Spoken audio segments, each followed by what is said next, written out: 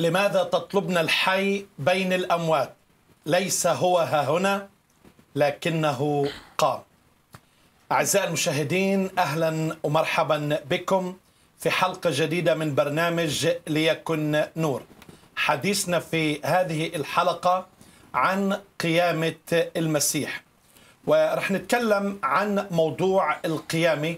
في البداية بحب أقول لكل اللي بيحتفلوا كل عام وأنتم بألف خير وإنه المسيح قام بالحقيقة قام. بحب أحيي كل المشاهدين. ربنا يبارككم وهاي السنة تكون سنة مباركة على حياتك.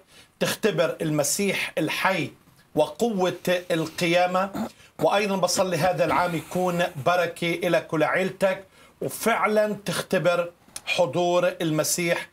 الحي في هذا الوقت. رح نتكلم عن موضوع القيامة.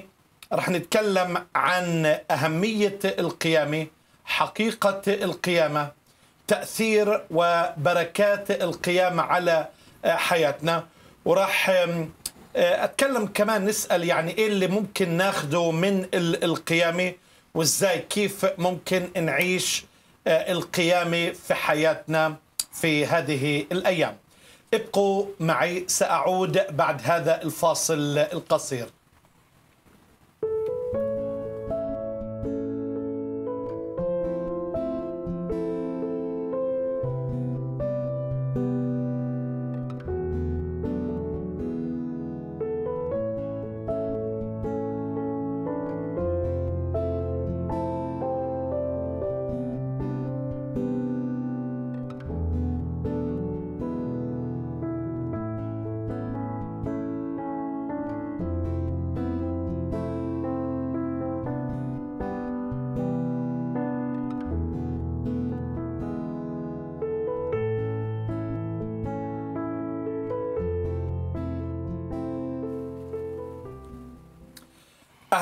أهلا أعزائي المشاهدين أنتم تشاهدون برنامج ليكن نور وحديثنا عن القيامه اليوم. ليس هو ها هنا لكنه قام.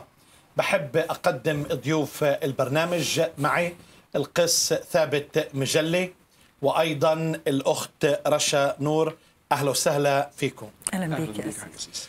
الحديث عن القيامه طبعا يمكن واحد من من أهم. وأفضل المواضيع اللي بحب أحكي عنها لأنه يمكن في الحلقة اللي حكينا عن صلب المسيح وإنه وصلنا للحديث إنه فعلا المسيح مات على الصليب بعد آلام مبرحة. طبعا الجلد الروماني كان صعب جدا بحطوا قطع من العظم والمعدن يعني فبتضرب في العصب فالدم واللحم والعصب كله بيخرج فكتير ناس بتموت تحت ضرب الجلد. ثم طبعا حمل الصليب وصلبه على الصليب تسمير الأيدي والرجلين تاج الشوك.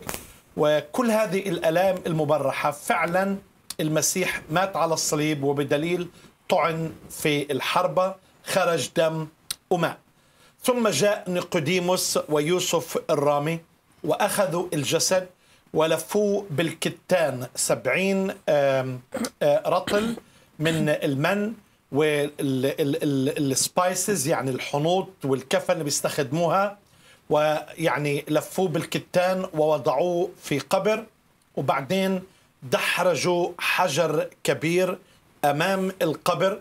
وطبعا طلبوا من بيلاطس إنه يحط الختم الروماني على القبر وطلبوا أيضا حرس لئلا يأتي التلاميذ ويسرقوا جسد المسيح. عندما ذهبت المريمات صباح الأحد باكر وجد أن الحجر دحرج طبعا الملاك دحرج الحجر حتى يشوفوا التلاميذ والنساء إنه المسيح قام ولما بيركض بطرس ويوحنا بيشوفوا إنه الجسد انسل من الأكفان والمنديل موضوع جانبا وابتدأ المسيح يظهر للتلاميذ وهذا الأكشن اللي إحنا بنتكلم عنه في موضوع القيامة. خليني أبتدي معك رشا إيش أو إيه اللي أنا ممكن اخذه في قيامة يسوع المسيح؟ آه، القيامة هي كانت نتيجة الصلب. يعني بعد الصلب والموت وبعد ما اتحط المسيح في القبر ثلاث أيام زي ما هو قال قام. فبالتالي أنا باخد معاه القيامة. أنا بيبقى عندي رجاء أيضا في القيامة. إن ال- إن المسيحية ال- يعني تعليمها ما انتهاش عند حتة الصليب لأن آه، لو كانت المسيحية ما فيهاش قيامة بقاش لينا إحنا رجاء. فكون المسيح قد قام من الأموات أعطاني أنا حياة أبدية. أعطاني إن أنا ليا رجاء إن أنا إن هو يجي وياخدني وأكون معاه. آه، أنا أثق إن هو حي هو المسيح قال أنا حي لذلك أنتم ستحيون. وعلشان كده آه، ما باجي أقارن ما بين آه، يعني بين خلفيتي الإسلامية واللي قاله محمد واللي قاله المسيح. واحد قال أنا ميت وأنتم ميتون. واحد قال أنا حي لذلك أنتم ستحيون. أمشي ورا مين؟ إيه اللي المفروض إن أنا يعني لو أنا في واحد ميت وواحد صاحي المفروض إن أنا أختار الميت أم أختار الحي؟ القيامة أعطتني يقين في ال- الحياة الأبدية مع المسيح. اللي قهر الموت فبالتالي هو هيقيمني من الموت ويعطيني حياة أبدية معاه أوكي قسيس ثابت شو بتعني لك أنت القيامة؟ آه، القيامة هي حجر أساس المسيحية وبنشوف الكلام ده اللي قاله الرسول بولس في كورنثوس الأولى 15 بتلخيص الأمر بدون القيامة. إيماننا باطل كرازتنا باطل حياتنا كلها باطل. بدون القيامة لا في حياة ولا في رجاء وده موجود في كورنثوس الأولى 15 بنشوف الكلام ده. عشان كده القيامة في المسيحية لحياتي وللم... كمسيحي. أقدر أقول في المسيحية أو لحياتي أنا الشخصية هي حجر الأساس. آه، اولا لأكثر من سبب. آه، يمكن رشا أشارت أن الصليب بدون قيامة شخص مات وانتهت حياته. لكن لأن هناك قيامة عشان كده في تعليم المسيح كان دايما ما بيقول لهمش ان هيتألم ويموت فقط لكن يموت وفي اليوم الثالث يقوم وده التعليم اللي قاله المسيح لتلاميذه. كمان هي تتميم للنبوات وبنشوف الكلام ده في آه، مزمور آه، 16 لما بيتكلم لن تترك نفسي في الهاوية ولن تدع تقيك يرى فسادا نشوف كمان آه، آه، بطرس بيتكلم في سفر أعمال الرسل لما بيتكلم عن القيامة. هي سر الفرح وسر الرجاء لذلك سر قلبي وتهلل لساني. وبيتكلم عن قيامة المسيح. حتى جسدي هنا الكلام ده يعني. بطرس بيقولوا بيقتبسوا من الكتاب المقدس على لسان المسيح. لن تترك جسدي في الهاوية حتى جسدي أيضا سيسكن على رجاء آه، فبنشوف إن في وعد أو في نبوات للقيامة من العهد القديم اشعيا 53 بيتكلم عن القيامة. ال الوعد بالخلاص. فبنشوف إن المسيح مش بس يموت لأنه لو مات كما في آدم وده بيلخص الرسول بولس كما في آدم يموت الجميع هكذا المسيح سيحيا الجميع. فإحنا حياتنا جد بالقيامة لأن فيه انتصار على الموت انتصار على الخطية. لأن خلي بقى جسيس نزار وانت حضرتك عارف ده ان أجرة الخطية موت. فهنا الإنسان فقد حياته الأبدية بالخطية. لكن كان في الوعد بالخلاص من الموت الأبدي نتيجة لموت المسيح وأخذ العقاب ونتيجة للقيامة. فقيامة المسيح كمان عربون قيامتنا بدون قيامة المسيح مش هيبقى فيه قيامة. زي ما قلت وذكرت التدميم لكلام المسيح وبنشوف الكلام ده موجود في إنجيل مرقس الأصحاح الثامن وفيما يترددون في الجليل قال لهم يسوع ابن الإنسان سوف يسلم إلى أيدي الناس. الناس فيقتلونه وفي اليوم الثالث يقوم. الكلام ده كمان موجود آه، في آه، مرقس تسعة موجود في آه، كل الأناجيل إنجيل لوقا إنجيل يعني يوحنا. بعدة مرات عدة مذكورة. مرات فمش عايز أقرأ كل الآيات لكن مذكور في عدة مرات. كرونسوس الأولى 15 12 28 بيتكلم الحياة الثانية كمان فكرة إن أنا أكون كارث بالقيامة بمعنى إن أنا بقول للناس إن حياتنا ما انتهتش عند الموت لكن حياة في عربون للحياة الأبدية مم. فهنا القيامة هي أساس المسيحية عشان كده آه، آه، بشوف إن بدون القيامة ما فيش مسيحية يعني مم. الصليب هو العبور من ال ال أو الصليب هو عبارة عن التبرير من الخطية أو المسيح حمل خطايانا والقيامة في النصرة على الموت وان أصبح إن الموت مش نهاية حياة لكن أنا ليا الحياة الله الأبدية. قبل كفارة و- آه، المسيح. وجبل القف... الكفارة. اللي بيعطينا التبرير. ب- أسلم من أجل خطايانا وأقيم أقيم من أجل تبريرنا. آه، غير كده جسيس نزار ان القيامة آه، في حياتي كمسيحي بت بتخليني أفكر تفكير مختلف عن أي حد تاني. لأني أنا شفت الصليب فيه المسيح بيضحي من اجلنا آه، وبيضحي من اجلنا نتيجة لمحبة لأنه هكذا أحب الله العالم حتى بذل ابنه الوحيد. فبموت المسيح وقيامته زرع فيا كابن للمسيح اللي أنا قبلت المسيح وقبلت عمله الكفاري على الصليب وآمنت بقيامته زرع فيا الحب والتضحية. مم. عشان كده بيقول الرسول بولس إيه؟ لأعرفه أعرف المسيح وقوة قيامته آه، لا أعرفه وقوة قيامته وشركة آلامه كمان بيشترك معاه في الآلام متشبها بموته. يعني أنا بس مش عندي النصر مش خدت النصر على القيامة خلاص لا لا أنا كمان آه، آه، أعرف كمان أكون شريك مع المسيح في الآلام آه، وشريك مع المسيح في الآلام وأنا بوصل رسالة المسيح. أنا مستعد آه، أتحمل التكلفة مستعد أتألم. وبنشوف الكلام ده ظهر كمان جسيس نزار قبل موت المسيح وقيامته لما أم ابني زبدي في إنجيل متى 20 جت قال قل لابني هذان أن يجلس الواحد عن اليمين والأخر عن اليسار في ملكوتك. المسيح قال حاجة مهمة جدا. أتستطيعان أن تصطبغ بالصبغة التي أصطبغ بها أنا؟ وأن تشرب الكأس التي أشربها؟ فيوحنا ويعقوب قالوا نستطيع. فهنا الفكرة المسيح حول الفكر من سلطة ومراكز عند اليمين واليسار إلى خدمة وتضحية وبذل وعط- وعطاء ولو إحنا شفنا حياة الاتنين يعقوب ويوحنا كانت حياة مليئة بالألم.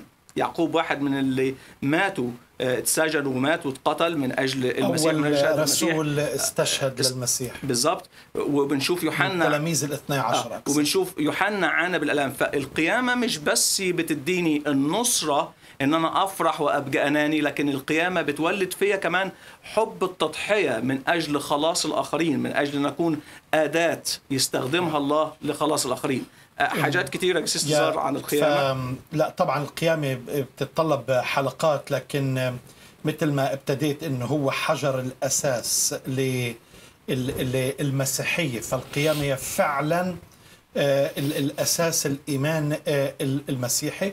شيء ثاني القيامة بتعطي مصداقية كمان وشرعية ليسوع المسيح المتميز آه، الفريد. هو فريد في ولادته العذراوية. فريد إنه عاش حياة خالي من كل خطية. آه، فريد إنه تمت فيه مئات النبوات. فريد ومتميز إنه هو اللي بيحمل الطبيعتين الإلهية والإنسانية. وفريد لأنه هو الوحيد الذي ولد لكي يموت يعني في هدف من مجيئه إلى الأرض. لكن كل هاي الأفكار حلوة. إذا ما فيش قيامة ما في شرعية ما في مصداقية في المسيحية. وبعدين أقوال المسيح كلها لما قال أنا هو القيامة والحياة. لو ما قامش فإذا كل المسيحية آه، ديانة ساقطة منهارة آه، جدا. فالقيامة هي اللي بتعطي الشرعية بتعطي المصداقية. مثل ما الرسول بولس بيتكلم لكنيسة آه، روميا في الإصحاح الأول آية 4 تعين ابن الله بقوة القيامة يعني كل هذه الإعلانات المجيدة وكل هذه الأفكار الحلوة إذا ما قامش المسيح فإحنا آه، تعسين بدون رجاء. المسيحية كلها انهارت وفشلت بالكامل. تفضل يا رشا القيامة آه، هي مش بس يعني آه، يعني أما بنيجي نتكلم على الصليب ما ينفعش إن أنت تتكلم على الصليب لوحده و- وبعدين تتكلم تقنع أي حد بالصليب بس. علشان القيامة هي ال- الجزء المكمل للخطة بتاعت مجيء المسيح. ما ينفعش إن أنا أفصل الص- الصليب عن القيامة أو القيامة عن الصليب. لازم الاثنين يقدموا حتة واحدة كده هوت لأن ده عمل الله أما جه الله عمل هذا العمل للإنسان علشان يحمل عنه خطيته ويصالحه يصالح الاثنين في جسد المسيح. ويكون ليه علاقة مرة تانية بيه. آه، شال عنه أجرة الخطية من خلال عمل الصليب وبرره تبرير كامل. وأقاموا مع المسيح وأجلسنا بيقولوا أقامنا مع المسيح وأجلسنا معه في السماويات. آه، آه، الموضوع مش موضوع آه، وقف عند حادث معين وهو حادث الصلب لكنه استمر ومستمر إلى مجيء المسيح مرة تانية بل إلى الحياة الأبدية كمان.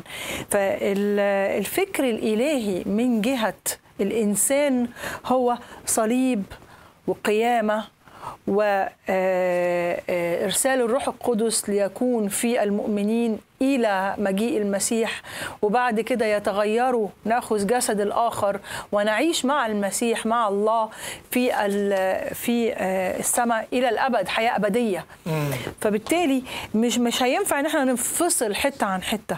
آه تاني حاجة آه أحب أقول إن القيامة إدت لكل إنسان اليقين في الحياة الأبدية، اليقين إن هو وارث مع المسيح، إن إحنا وارثون معه، إن إحنا لينا ما ما هو ليه. وزي ما هو أخذ اللي هو لينا اللي هو أجرة الخطية وتعلق على صليب العار و... و...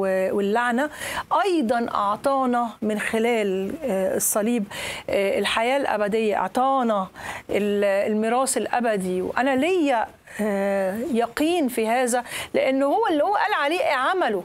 يعني أنا دلوقتي أثق في واحد بيقول لي أنا هعمل كذا كذا كذا. ما عملش. أثق فيه إزاي؟ لا يمكن أقدر أثق فيه. لكن ده واحد جه قال أنا هموت. واتكلم على الموضوع بتاع آه، يونان. وقال أنا ه... كآية يونان هيكون ابن الإنسان في بطن الأرض ثلاث أيام ثلاث ثلاث تلات ليالي. وثلاث ليالي. فبالتالي آه، آه، أنا أثق فيه لسبب إن ال- إن المسيح مش موجود في القبر. مين مو... مين في ال... في في التاريخ كله؟ يعطي مصداقية وشرعية مثل ما ذكرت. ومين مين في التاريخ كله بيتكلم آه، أصلا أقام نفسه؟ يعني أنا معلش أما جيت آه، أبص برضو في التاريخ الإسلامي آه، آه، أما جم يدفنوا محمد دفنوه بعد فترة يبعدوه بعد كام يوم من موته. أعتقد إن هو كانوا مستنيين إن هو يقوم وفي الوقت دوت قال إن دخل الداجن وسرق آه، أكل بعد إيه القرآن من تحت السرير. طبعا الآيات الكلام دوت موجود ويعني في جوجل لو حد يحب يتأكد من المعلومة لكن مش هي دي أصلا فكرتي. أنا فكرتي إن إذا كان محمد ما قدرش إن هو يقوم نفسه. محمد ما قدرش هو إنسان. ما قدرش يصنع معجزة. ما قدرش يصنع معجزة ما قدرش. إزاي أنا آثق فيه. هو قال أنتم مي... أنا ميت وأنتم ميتون. والمسيح قال أنا حي لذلك أنتم ستحيون. وهو الإله الحي الذي أقام نفسه وقام. والقبر بتاعه فارغ. وهو الوحيد اللي في هذا العالم. لازم سمعنا إن في قبر فارغ لا قبل ولا بعد. حد أقام نفسه. أنا عاوز أسألك رشا بس كمان عاوز أخذ آه، يعني آه، فرصة مع المشاهدين. إذا عندك أي مداخلة أي سؤال استفسار هذه حلقة طبعا آه، مسجلة لكن فيك تتواصل معنا. بس عاوزك تفكر بسؤال ذكرت إنه عن ال- الامتيازات اللي بنحصل عليها إنه الإنسان بيكون وارث مع المسيح. إذا ممكن يعني تفكر في هذا الموضوع بعد هذا الفاصل إنك يعني تردي على هذا السؤال. آه، سأعود بعد هذا الفاصل القصير.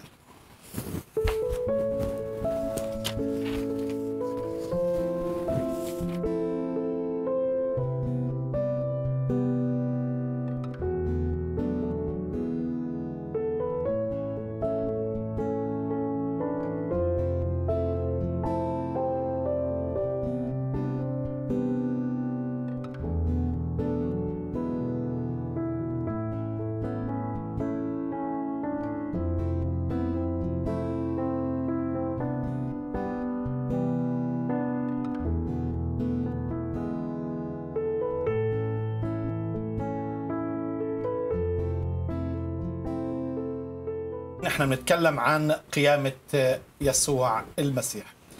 آه، أخت رشا يعني وأنت بتتكلمي عن قيامة المسيح واحدة من الامتيازات أنه الله أعطانا أن نكون ورثة مع المسيح. يمكن البعض آه، يعني غير مدرك يعني شو فكرة أنه بنتورث مع المسيح؟ هي فكرة إن إحنا آه، إن المسيح هو أخذ اللي لينا. أخذ إيه؟ أخذ الذنوب والخطايا وأجرة الخطية بأن هو علق على الخشبة. آه، أخذ اللعنة بالكامل من أجل إن هو يبررنا. فبالتالي أنا باخد أعطانا ليه التبرير وأعطانا البركة وأعطانا الغفران وأعطانا الشفاء. يعني هو أخذ لكن أعطى الأشياء اللي بتقودنا للحرية الكاملة. بالظبط فبالتالي أنا آه، أنا هاخد إيه إيه يعني أما أنا أقبل المسيح هاخد إيه؟ هاخد هو أخذ اللي ليا فأعطاني اللي ليه فأنا بكون وارثة مع المسيح. يعني كل اللي للمسيح هو ليا. يعني آه، يعني كل إمكانيات المسيح كل آه، آه، إم- كل. قدرات المسيح كل آه، آه، قوة المسيح هي ليا. إزاي؟ من خلال عمل الروح القدس. عايزة أقول حاجة كمان إن في القرآن في حتة بتقول آه، الذي أورثهم الجنة. وبيتكلم على آه، الورث إزاي إن ربنا ممكن إن هو يورث الجنة للمسلمين. بيقول إن نحن نرث الأرض وما عليها وإلينا يرجعون. وأنت خير الوارثين. بيتكلم إن أنت خير الوارثين. في حاجات آيات كتيرة في سورة مريم وفي سورة الأنبياء وفي سورة النمل. لكن اللي و- بيورث مش لازم يعني شخص بيتورث شخص ما. ما هي دي بقى النقطة. إن هي القانون الورث بيقول إن آه، إذ لازم يكون في بيان موت الموصي آه، okay. ما ينفعش إن يكون الوارث حي لأن الوصية طول ما ألو... ال... الم... المورث. المورث. حي يبقى الورثة ما يقدروش يكونوا ورثة ولا الحاجة بتاعتي تبقى إرث غير أما أنا أموت أنا بحاول أتذكر يمكن أكون غلطان بس صححيني إنه يمكن يمكن واحدة من أسماء الله الوارث. الوارث. تمام. موجودة. تمام.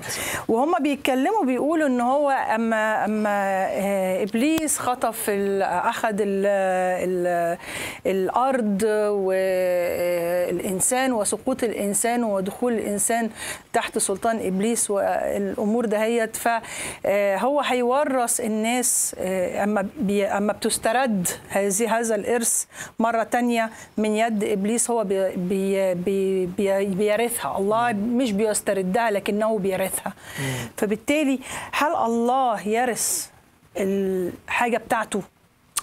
يعني من ضمن الحاجات اللي أنا يعني عارف برضو يا أسيس أنا كنت في حاجات وأنا بتكلم آه، وأنا بقرأ في الفكر الإسلامي بتلاقي في حاجة غريبة قوي.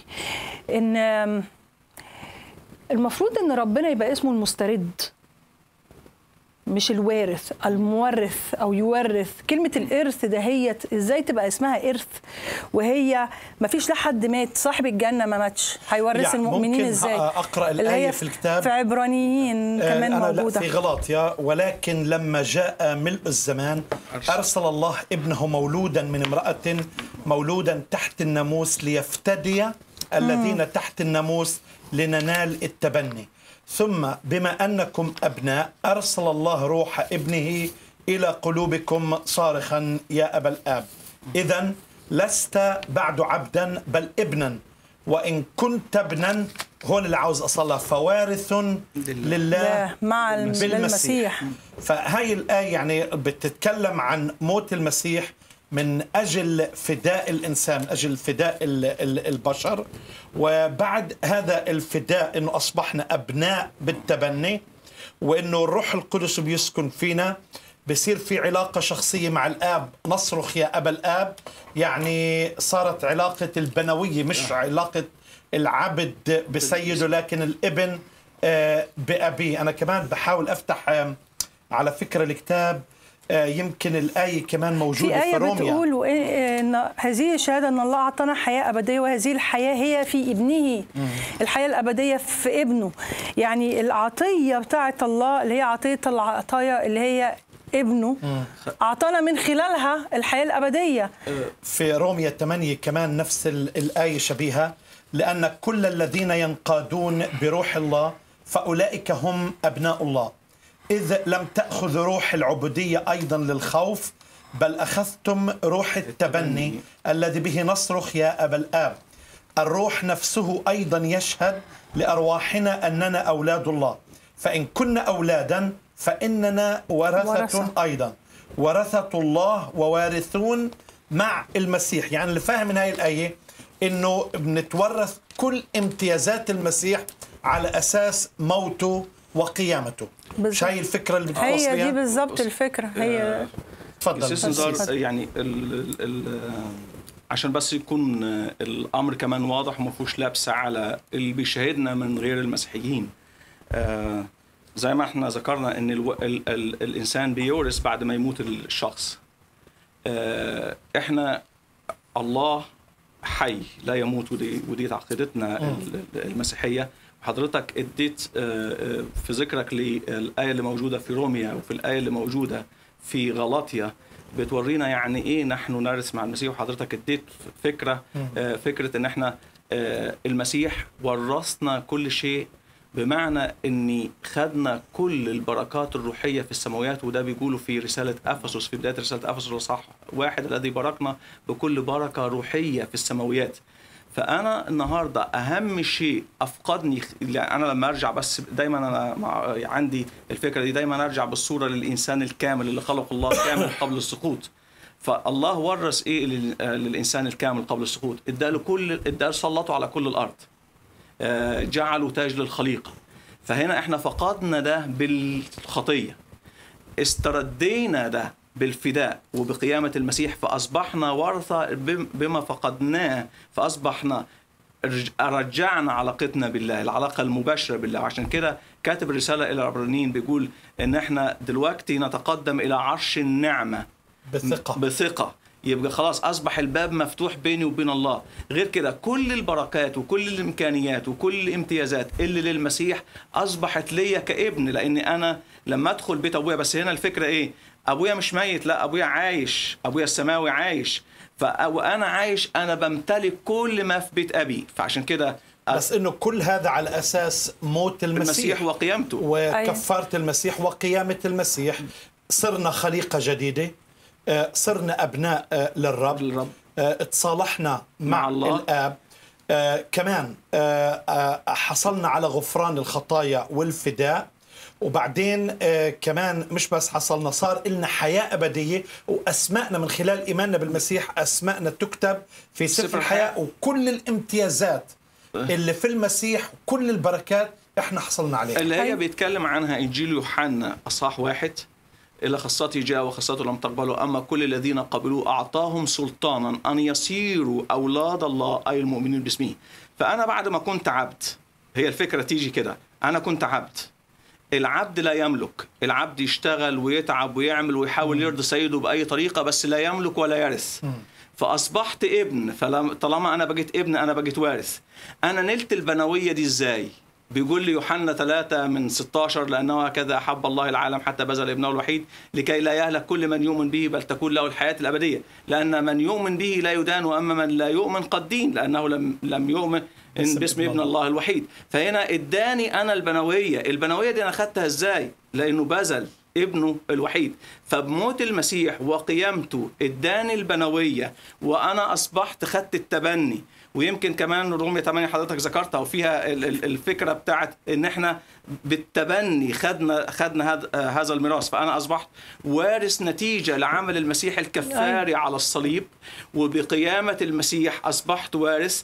لكن أنا كمان أنا داي أنا عايز أركز على دي أكتر. مش وارث بمعنى الله آه، مش موجود لكن الله حي. لكن اداني الامتيازات. ب- ب- بالظبط كده يا جسيس إحنا بنتكلم على موت المسيح كإنسان. كإنسان آه. لكن الله لا يموت. يعني خلينا نوضح هاي ال في في. حتة في حتة موجودة في رسالة العبرانيين بتبقى مهمة جدا عشان نقدر نفهم فكرة ال- الميراث دهيت بتقول إنه حيث توجد وصية يلزم بيان موت الموصي لأن الوصية ثابتة على الموتى إذ لا قوة لها البتة ما دام الموصي حيا.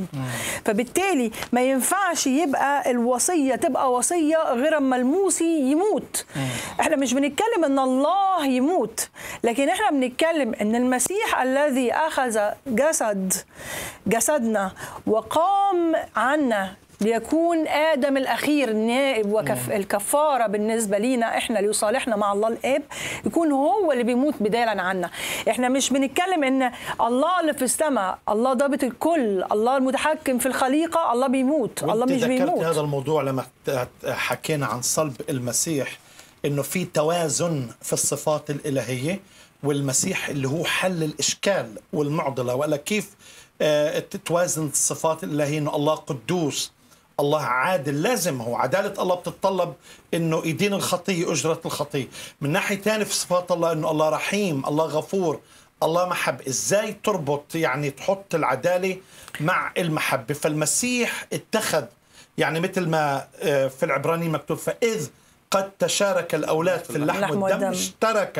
هو أيضاً. فيهما كل الفكرة أنه كان لازم يصير إنسان. ما, ما, ما, ما كانش ممكن يصير جمل ولا فيل ولا أي شيء. لازم لغة المخاطبة لغة التواصل. عشان يتواصل لازم يتواصل مع الإنسان. وإلا لو جاء الله عاوز يكلم الإنسان لارتعب الإنسان.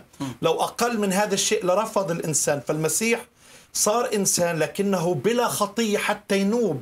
عن الإنسان وحتى يقدر يقدم كفارة لله العادل الكامل لأنه مش ممكن أي شخص يكون فادي ويقدم هذه الكفارة إلا ما يكون إنسان مش بس أي- إنسان إنسان كامل بلا خطية وهي ال- ال- الإشكال الحل الوحيد هو يسوع المسيح. بناء على موت المسيح كإنسان ابن الإنسان نحن تورثنا أصبحنا ورثة من خلال المسيح. فلأنه المسيح آه، أخذنا إحنا الإخوة وخواته قدمنا أمام آه، أمام الرب فصار لنا الشرعية بحسب البنوية. وعلى فكرة فكرة التبني والفداء هي أساس العقيدة المسيحية مع أنها فاهم إنها إنه مرفوضة في الإسلام. طبعاً. مع أن هاي هي أساس العقيدة المسيحية اللي هو موت المسيح وقيامة المسيح. ليه المسلم برفضها؟ بيرفض فكرة البنوية آه، ببساطة لأن هو يقول لك إزاي أنا أكون ابن ربنا؟ يعني أنا ما ربنا أنا كمان بقول إزاي السو- بس كل اللي بيسعني إنه هل الله قادر بس أنا علي إنه أشكر الله. أنا لا، مش- الآن أقول إزاي يعني. طبعا كيف؟ أنا إزاي أكون ابن ربنا؟ وإزاي إن ربنا كمان يكلمني؟ يعني أنا لما بتكلم مع ناس كتيرة جدا وبنقدم رسالة الخلاص للناس وبنقول لهم تعالوا إلى الرب وسلموا حياتكم وكلم ربنا وربنا يرد عليك. قول لربنا أنت مين يا رب وربنا هيرد عليك. أنا كتير بقدم الرسالة دي وبقول للناس تعالوا بنقاء قلب وقولوا له أنت من أنت يا رب وأنا أريد أن أتبعك. لكن في نق- عادة مين أنا؟ أنا مين. أنا علشان أنا. ربنا يكلمني؟ مين أنا وأنا نبي علشان ربنا يكلمني؟ لا أنا عايزه أقول لك إنك أنت مش لازم تكون نبي عشان ربنا يكلمك. أنت خليقة الله. أنت صنع الله صنع يديه. الله يريد أن يتحدث إليك. الله يريد أن يقدم ليك يد المعونة عشان توصل له. بيتحدث للإنسان. يتحدث ليه من خلال من خلال قلبه. ربنا هو اللي عامل السيستم بتاع الإنسان كامل. يعني. من خلال ربنا يقدر يكلم كل إنسان بطريقته. يعني عايز أقول لك على حاجة. أما أنا مثلا العربيه بتاعتي لو أنا عربيتي مثلا سي إن أنا عربيتي عربية مازدا العربية المازدا دي ضربت وقعت وقفت في الشارع. جه عايزه أصلحها هوديها لفين؟ مش لازم أروح أوديها للمحل بتاع مازدا عشان يصلحوها. لو أنا وديتها في كذا محل ومش عارفين يوصلوا الحل فيها. مين اللي هوديها لهم؟ مش هوديها للتوكيل بتاعها. ربنا هو اللي صنعنا صنع الإنسان. الله الوحيد اللي يقدر يتخاطب معاك. الله الوحيد اللي يقدر يوصل ليك. من خلال عقلك ومن خلال قلبك ومن خلال مشاعرك ومن خلال فكرك ومن خلال حياتك. ليه؟ لأن الله هو اللي عمل لك نفسك. هو اللي يقدر يوصل لكل ح... يعني كلمة يوصل كل كلمة ليه جوه قلبك. وانت ما عليك إلا إنك أنت بكل نقاوه قلب تقول له يا رب نقي قلبي عايز أسمعك. يا رب أنا عايز أسمع صوتك يا رب أنا عايز أعرف أنت مين. بس وهو يقدر إن هو يوصل لك وهو يقدر إن هو يتواصل معاك وهو يقدر إن هو يوريك قد إيه هو مات من أجلك هو قام من أجلك وهو جاي كمان لتكون وارث معاه للأبد. قسيس آه، ثابت أنا حاسس هيك شايف إنه في كلام عاوز آه، لا، تحكي لا، لا. من خ- عينيك لا. بتحكي لا مفيش حاجة دلوقتي. تفضل لا أنا أنا لا الفكرة مش عاوز تحكي يعني؟ لا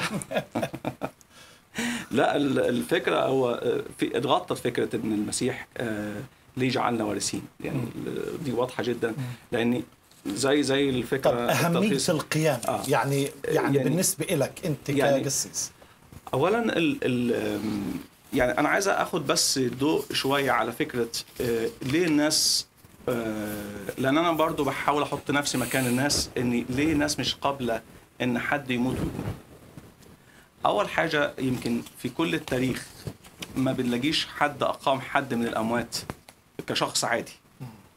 آه، يمكن في العهد القديم في الأنبياء عملوا معجزات لكن المسيح أقام من الأموات لكن أكتر من كده مش أقام من الأموات أقام نفسه وهنا وهي تاج معجزات. يعني معجزة المعجزات عشان كده هو البقوره بقوره الراقدين وضحها بمعنى إيه بقوره الراقدين أول واحد يقيم نفسه بنفسه مم. وبقوره الراقدين هو عربون لقيامتنا عشان كده الرسول بي... الرسول بولس إيه؟ برضه وضحها آه، ما أنا جسيس. هوضحها آه. عشان كده الرسول بولس بيقول إيه؟ لا تحزنوا كالباقين الذين لا رجاء لهم في القيامة.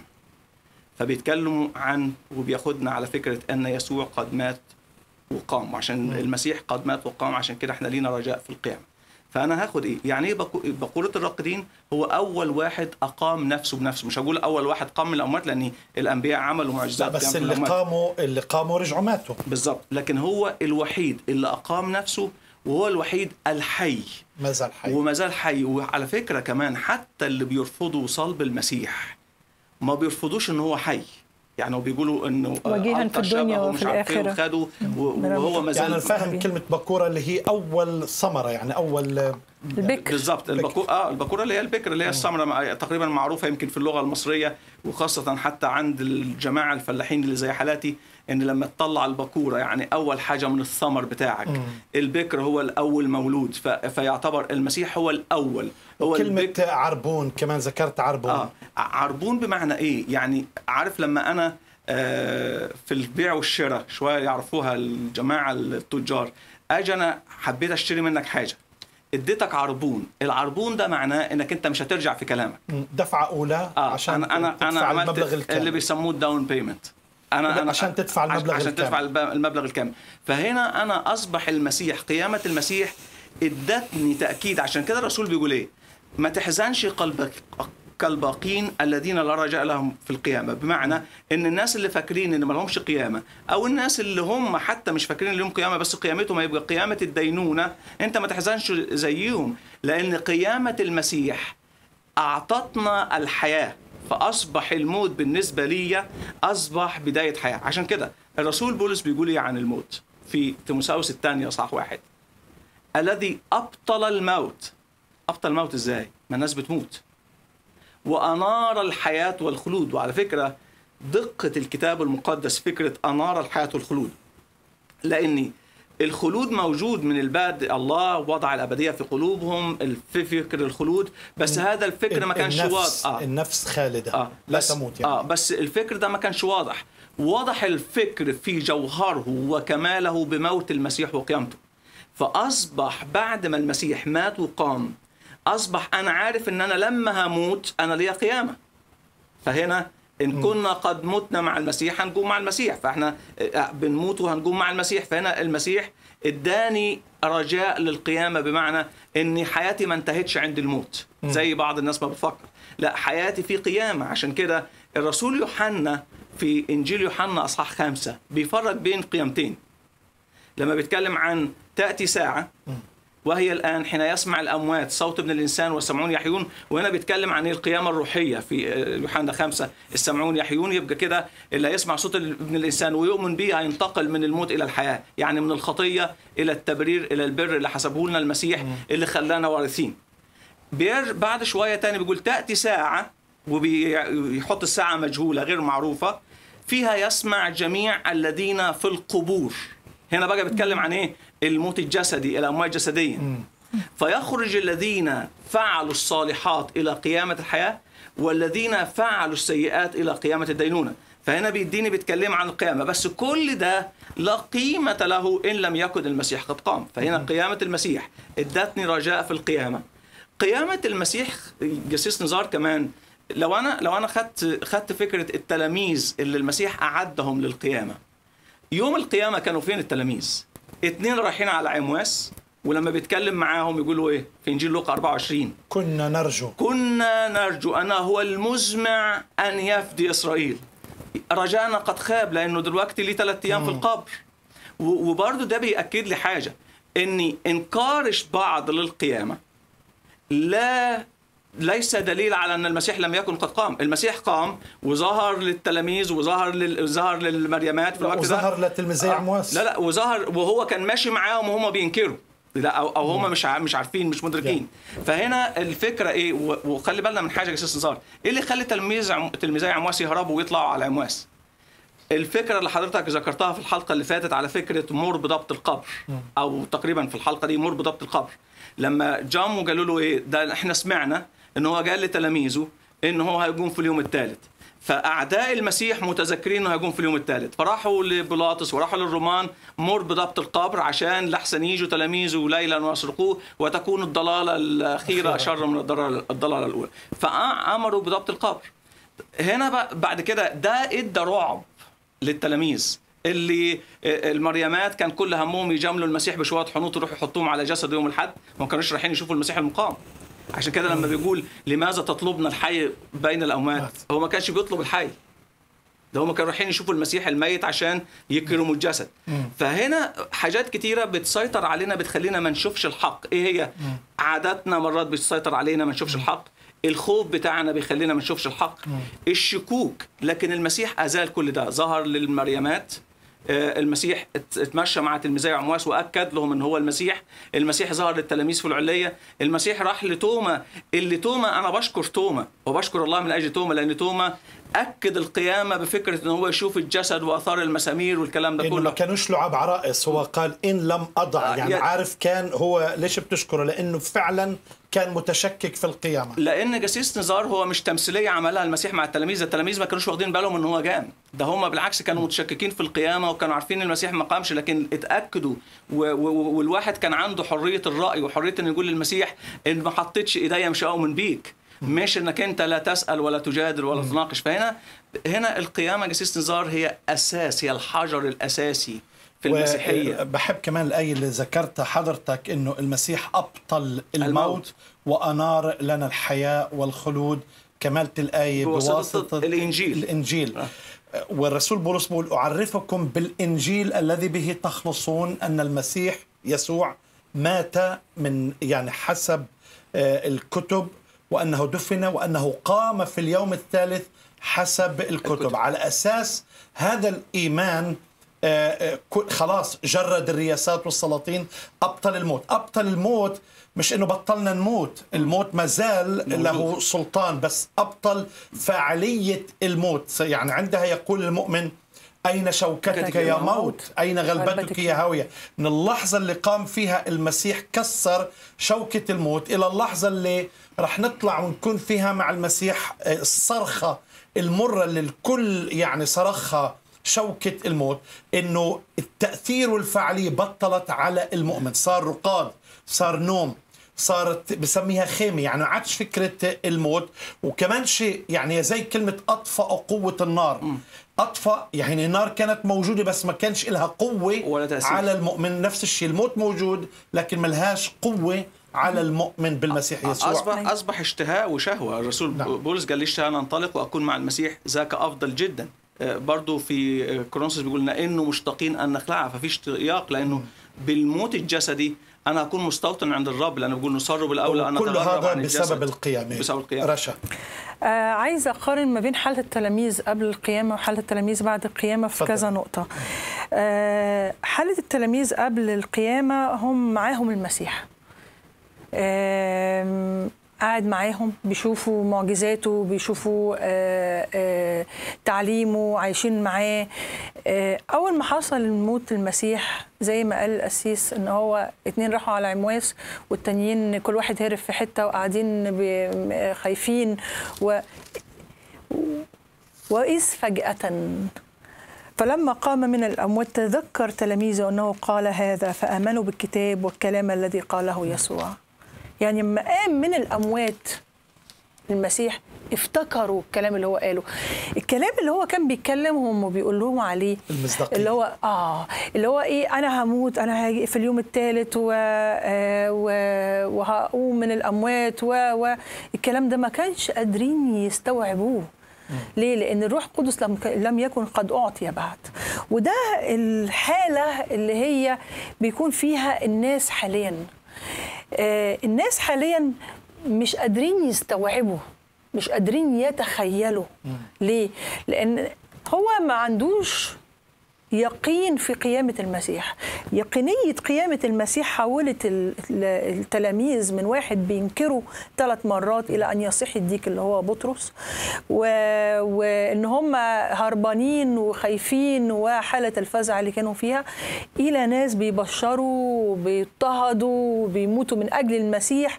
وعندهم آه، آه، من من الداخل آه، يقين إن مش هي دي النهاية. حتى لو قتلوا الجسد مش هي دي النهاية بتاعتنا. عملت قلبة هي عملت آه، آه، آه، اختلاف جذري في حياة التلاميذ. وعايزة أقول إن هو ما عملش اختلاف جذري في حياة التلاميذ فقط لكنه عمل اختلاف جذري في حياة كل مؤمن بالمسيح. كل مؤمن بالمسيح قبل حياته مع المسيح بيكون خايف من الموت خايف من الدينونة الأبدية خايف من يوم القيامة خايف يقف قدام الله الديان العادل ويشيل أوزاره و- وآثامه ويقف قدام الكفتين ويا ترى أنا هدخل الجنة ولا هدخل النار؟ همشي على الصراط المستقيم ولا هروح فين؟ لكن المسيح أما جه وشال ده وأثبت بالقيام الكلام اللي هو قاله بقيامته بقى الناس بيقدموا نفسهم مش علشان يفجروا غيرهم يموتوا نفسهم عشان الناس تموت. لا ده بيقدم نفسه من أجل إن هو يموت علشان يحيا الآخرين زي ما المسيح عمل. بيبقى الإنسان عنده قدرات مش موجودة في أي إنسان آخر. إزاي الإنسان الطبيعي الإنسان الطبيعي بيقدر إن هو يدي فوق الطاقه بيبقى عبارة كنز في إناء خزف. أن أموت عشان أحصل على الجنة طبعا بتفجير نفسي وقتل الآخرين. هذا إن دل على شيء بدل إنه ما عندوش تأكيد لخلاصه ما عندوش إيمان بالله أو عنده إله يعني عمل إله بحسب شكله بحسب إرادته ومش عن بقدم حياة. من السهل إنه الإنسان يموت لكن من الأصعب إنه الإنسان يعيش حياة المسيح ويقدم حياة للآخر أنا عاوز آه، آه، ناخذ بس فاصل قصير وبعدين نختم الحلقة آه، مع بعض. آه، ابقوا معي وأنا بشجعك أنك تتواصل معنا. إذا عندك أي سؤال سأعود بعد هذا الفاصل القصير.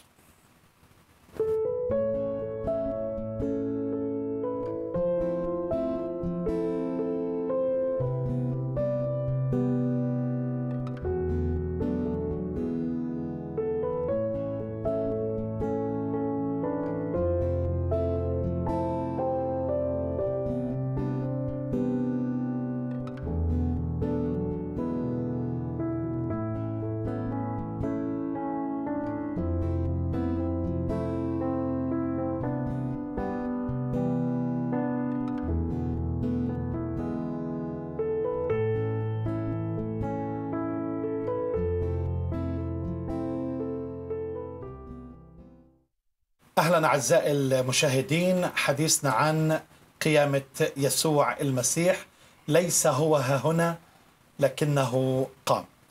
طبعا إحنا ممكن نحكي حلقات كثيرة عن ال- القيامة من زوايا ونواحي لكن عاوز أسألكم اثنين ممكن تبتدي أنت قسيس آه، تأثير القيامة على حياتك، تأثير القيامة على حياتك، تفضل قسيس. أنا آه، آه، ال- الحاجة الرائعة إن الكتاب نفسه قال لنا القيامة بتعمل إيه فيا فبشوف إن في رسالة كلوسي الأصحاح. الأصحاح الثاني بداية من عدد 20 بيقول إن كنتم قد متم مع المسيح عن أركان العالم فلماذا كأنكم عائشون في العالم تفرض عليكم فرائض لا تمس ولا تزق ولا تجس التي هي جميعا للفناء في الاستعمال حسب وصايا وتعليم الناس أول حاجة إن كنت أنا قد مت مع المسيح قمت مع المسيح أنا هنا عندي إله أنا واثق إنه إله بيعمل لخيري قام من أجل تبريري مات من أجل خطاياي وقام من أجل تبريري. فأنا مش هسمع كلام الناس. أنا هتمسك بكلمة الله وبعود الله لأني عارف إن وعود الله صادقة. طيب. الحاجة الثانية في تلا في أصحاح ثلاثة بيقول إن كنتم قد قمتم مع المسيح فاطلبوا ما فوق حيث المسيح مسيح. جالس. فأنا مش بهتم بالدنيا. عشان كده التلاميذ جسيس نزار بعد القيامة بعد يوم الخمسين حتى لما سجنوهم وقالوا لهم لا تنادي بهذا الاسم. انهم من السجن وطلعوا من السجن راحوا ينادوا تاني بهذا الاسم. وقال لهم ينبغي أن يطاع الله أكثر من الناس. أنا مش هسمع ليكم أنا هسمع على الله. فالقيامة بتخلي لي اهتمامات الأرضية اهتمامات الأرضية المراكز المناصب الغنى كل الكلام ده عندي. لا شيء. كله الرسول بولس قال قد حسبتها نفاية. عشان كده أنا بيبقى أنا مستعد أقدم حياتي من أجل ان اوصل رسالة الإنجيل للآخرين لأن أنا مش بطلب اللي في الأرض مش بطلب حفاظ على حياتي في الأرض لأن أنا منتظر لقاء المسيح في السماء لأن ده بتمتع بالميراث الذي لا يفنى والإكليل المجد الذي لا يبلى. عشان كده أنا بطلب ملكوت الله وبره هذه كلها تزاد لنا. الحاجة اللي بعد كده التأثير على حياتي الشخصية في حياتي بين الناس. ابتدى يقول لي إنك أنت كابن وعلى فكرة جسيس نزار ناس كتيرة فاكرين إن المسيح مات من أجل خطاياي يبقى ده تصريح ليا بالخطية. لا المسيح الكتاب المقدس هنا بيتكلم بيقول إيه؟ أميتوا أعضاءكم التي على الأرض الزنا النجاسة الهوى الشهوة الرضية الطمع الذي هو عبادة الأوثان. حتى الطمع شبهه بعبادة الأوثان. الأمور التي من أجلها يأتي غضب الله على أبناء المعصية.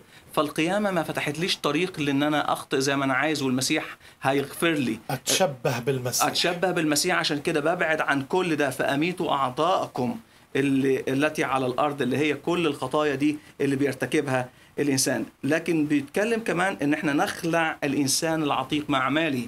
إن كان أحد في المسيح فهو خليقة جديدة. فأنا اللي بيتعامل معايا دلوقتي اللي بيشتغل فيا اللي بيحركني هو المسيح اللي هو أعد لي أعمال صالحة لنسلك فيها مش أعمالي أنا. الحاجة اللي أنا أخيرا جسيس نزار في الح... في الحكاية دي أنا ما قاليش إخلع ده بس لكن قال لي كمان إلبس. فأنا بخلع الشر وبلبس فالبسوا كمختاري الله القديسين المحبوبين أحشاء رأفات. يكون عندي أحشاء رأفات. لطفا تواضعا وداعة طول أناة محتملين بعضكم بعض ومسامحين بعضكم بعض.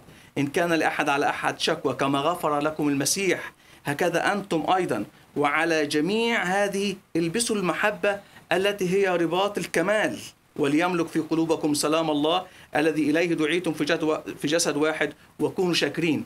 هنا ال- ال- ال- الحياة اللي إحنا نلبسها جسيس نزار في وداعة تواضع لكن كمان فوق كل ده المحبة اللي قال عنها إن هي رباط الكلام الكمال اللي هي بتخلي ليا سلام مع الله. فعشان كده بشوف إن تأثير القيامة على حياتي كمان بيأثر في حياة الآخرين وفي حياة المجتمع وبيدي سلام للمجتمع لأني بحب حتى عدوي.